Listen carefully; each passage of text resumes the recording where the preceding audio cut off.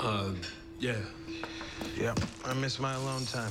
Don't get me wrong, Jack is Jack, but I need my solitude. Be alone with my thoughts. I don't even really like hugs. Personal space, you know? Yeah. Hey, we moved the coffee table at home. Warren taught me some stretches I want to try out on the floor there. What are we talking about? Personal space and lack of it. Ah, Grant and I have been spending a lot of time together, and let me just tell you, in my opinion, personal space, highly overrated. Okay, rewind. Back it up and come back in again, because I'm pretty sure I just spotted some swagger. Is that what I'm seeing? No. Do you have the swagger No, this morning? no, no, no, no swagger. Nope. You're probably just picking it up from me.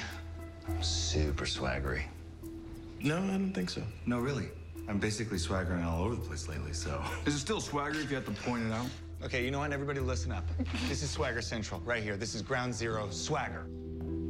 I say Trav. Hey, you're quiet. You okay? Yeah, yeah. I'm just, uh, just tired. Yeah, from uh, a run this morning. So.